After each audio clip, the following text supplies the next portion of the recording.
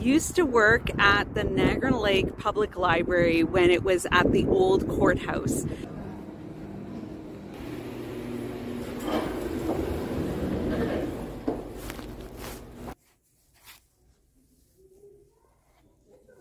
So it's kind of a dream come true to have my book at the local library. And it's in two libraries. So if you're interested in checking out the online shift 101 pro tips for virtual facilitators, workplace trainers, and you can also request that the book be ordered at your local library or you can get it online at major bookstores. My name is Patricia Regier, author of The Online Shift.